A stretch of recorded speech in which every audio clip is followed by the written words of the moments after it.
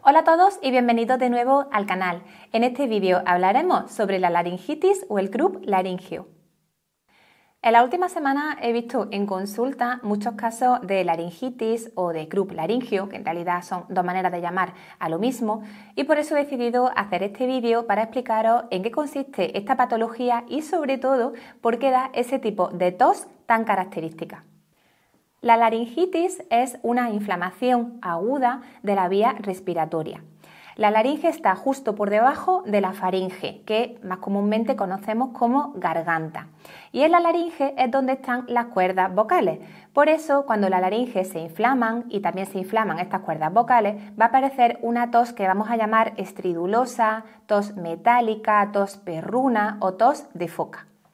¿Cuándo vamos a encontrar más frecuentemente la laringitis? Pues sobre todo lo vamos a encontrar en momentos de cambio estacional, por ejemplo ahora en otoño, sobre todo cuando hay mucha diferencia térmica entre el día y la noche y también en invierno porque hay muchos virus respiratorios de los que pululan habitualmente en los meses de invierno que van a ser la causa de esta laringitis. ¿A qué edad va a ser más frecuente que encontremos la laringitis? Pues sobre todo va a afectar a niños que se encuentran entre los 6 meses y los 6 años. ¿Y cuál es la causa? Pues como os decía al principio, la causa más frecuente van a ser los virus respiratorios. Habitualmente en pediatría sabemos que los virus que más van a producir laringitis son el virus para influenza y el virus influenza. Pero vamos, esto en definitiva no hace falta que lo sepáis vosotros. Simplemente que son virus respiratorios de los habituales en invierno que lo que suelen producir son cuadros catarrales que no tienen mayor importancia, pero de vez en cuando van a producir esta tos tan característica y esta inflamación de la laringe.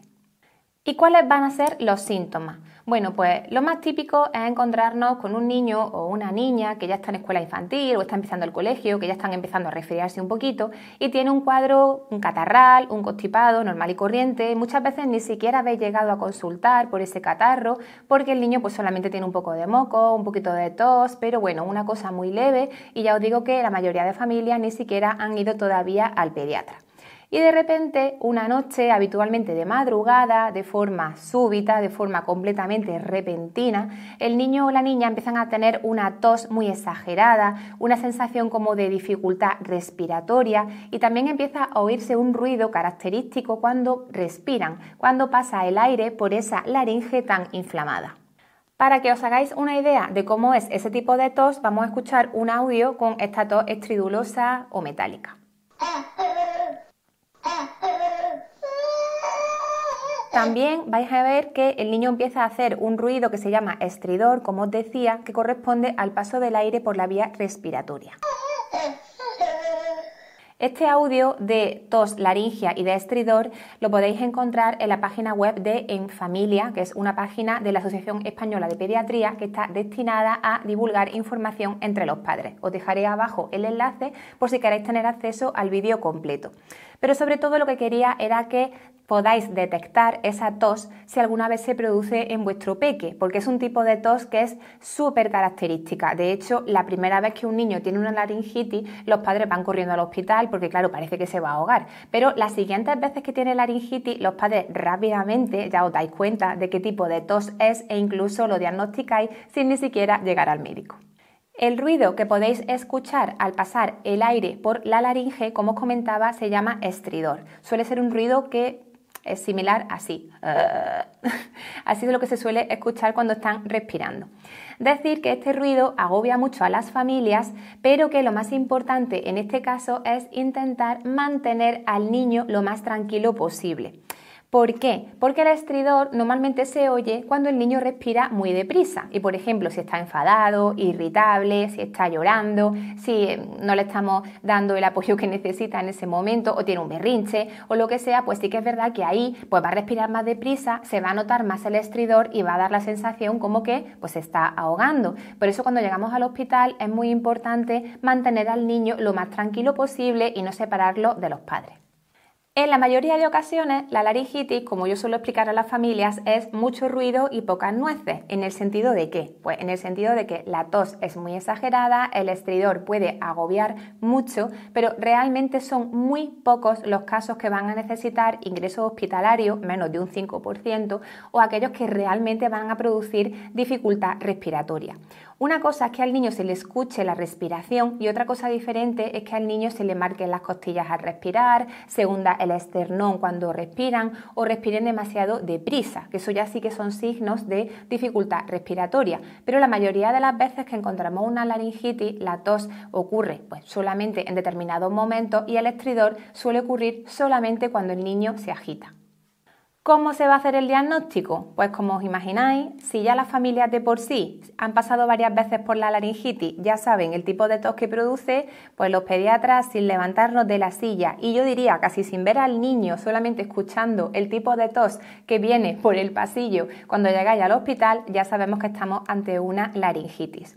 Esta es una de las urgencias más frecuentes que ocurre durante la noche cuando uno está de guardia. Prácticamente todas las noches o casi todas ha tenido algún episodio de laringitis y como digo, sin ni siquiera ver al niño, solamente viendo cómo está tosiendo, ya sabemos que es una laringitis y no vamos a necesitar ni pruebas de sangre, ni radiografía, ni nada similar. ¿Cuál es el tratamiento fundamental de la laringitis? Bueno, pues la laringitis o el croup laringeo, los médicos lo vamos a curar con corticoides. El medicamento fundamental que vamos a utilizar siempre, el que tiene menos efectos secundarios y el que vamos a usar porque es el más efectivo, son los corticoides por vía oral, es decir, los jarabes de corticoides. Si tenéis niños que tengan laringitis de forma recurrente, seguramente os sonarán nombres como estilsona, paidocort, deflazacort o zamene, que es como se llaman los corticoides más usados por vía oral.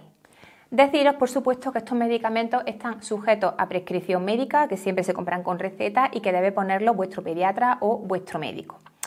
Antiguamente, bueno, no tan antiguamente, porque cuando yo empezaba a trabajar hace unos 10, 12 años, eh, se ponía mucho eh, corticoide por vía inhalatoria, o sea, poníamos mucho corticoide en aerosol cuando el niño llegaba a urgencia.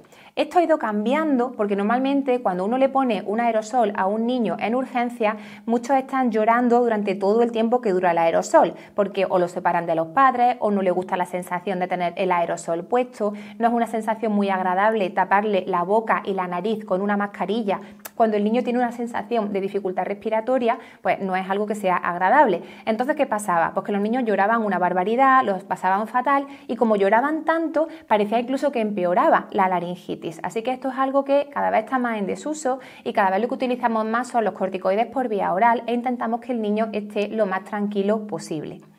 Pueden existir cuadros de laringitis que necesiten ingreso hospitalario, oxígeno o incluso llegar a administrar adrenalina en un aerosol, pero estos van a ser los casos menos frecuentes y como digo, la gran mayoría de las veces los niños se pueden ir a casa y hacer el tratamiento en el domicilio. ¿Y qué podemos hacer en casa? ¿Podemos hacer algo para mejorar el estado del niño, para mejorar esa sensación de dificultad respiratoria? Pues sí, hay varios remedios que podéis hacer en casa. El más extendido es intentar que el niño respire aire frío. ¿Cómo vamos a hacer esto? Pues estamos en invierno, que es cuando más frecuente que ocurra este cuadro, lo mejor es sacar al niño al balcón o a la ventana, yo le digo a los padres bien abrigado, que la idea no es que pase frío, la idea es que respire aire frío, porque como sabéis el frío es el mejor antiinflamatorio, así que al respirar el aire frío va a pasar ese aire más fresco por la laringe y va a bajar la inflamación de las cuerdas vocales. Y otra cosa que también podéis hacer en casa es intentar aumentar la humedad ambiental que tenéis en el domicilio.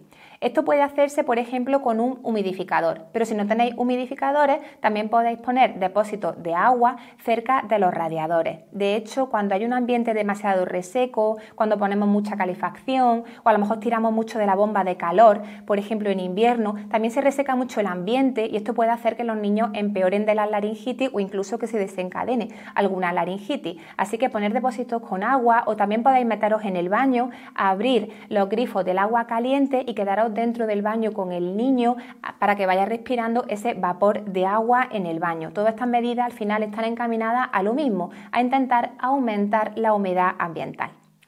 Espero que el vídeo haya servido para resolver vuestras dudas en cuanto al tema de la laringitis. Si os queda alguna, por favor escribidme abajo en comentarios. Si os ha gustado el vídeo, dadme un like, suscribiros al canal si no estáis suscritos y nos vemos por aquí muy pronto.